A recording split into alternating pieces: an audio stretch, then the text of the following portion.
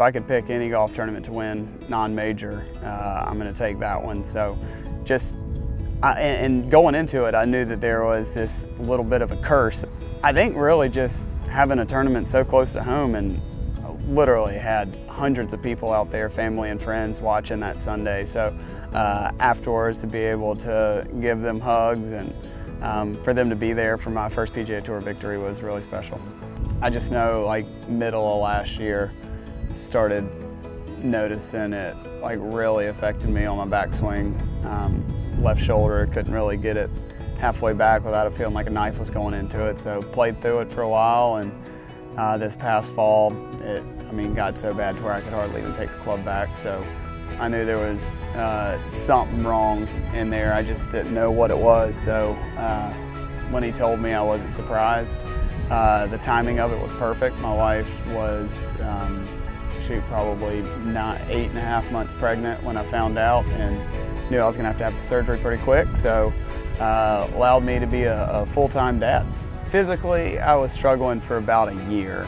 Um, not necessarily with uh, any part of the game, golf swing wise, but I mean just health wise, I knew that I was playing through something that I probably shouldn't have, but when they give you the opportunity to travel around to the coolest places in the world and play the best golf courses in the world against the best players in the world, it's hard to say no to that. So um, I should have probably got it checked out and shut it down a little bit earlier, but um, you know, I'm still young and dumb and uh, still learning. So, um, I mean, I'm definitely jumping at the bits to get back out there, but health is first and foremost.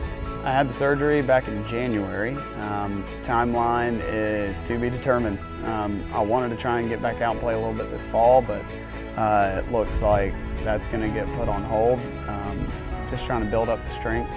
Whenever I feel like I can practice and play seven days in a row um, with little to no soreness, I feel like that'll be about the time when I'm ready to compete. Coming back in town, I called Bill and Puggy and said, hey, I'm, I'm going to be back in town. And uh, when I was in Augusta, I practiced and played a lot with the kids on the team there. And I just love being around a competitive environment. And I feel like uh, a college golf team is about as competitive as it gets. So, um, I mean, just being able to get around and mix it up with really good players and uh, be able to compete. Uh, that's why I wanted to talk to Bill and, and hopefully have a little bit of access out here.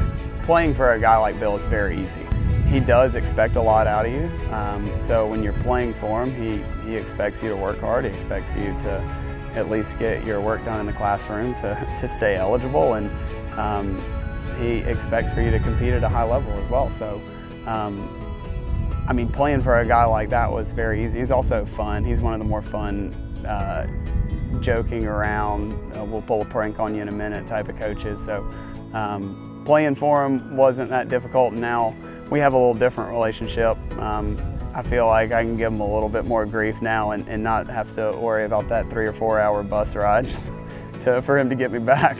As far as golf is concerned, I, I feel like having a facility like this is probably one of the better career moves I could have made as well. The facility we're sitting at right now, it's great. It's, I would say, right up there with the best in the country. Um, not just uh, as universities are concerned, but I mean just overall practice facilities. Uh, week in and week out, I'm at, at, the best golf courses in the world, and I mean this practice facility right here stacks up uh, with all of them. So um, I mean just having a, a, quality product to get ready to go back uh, to do what I've been doing um, is definitely going to help.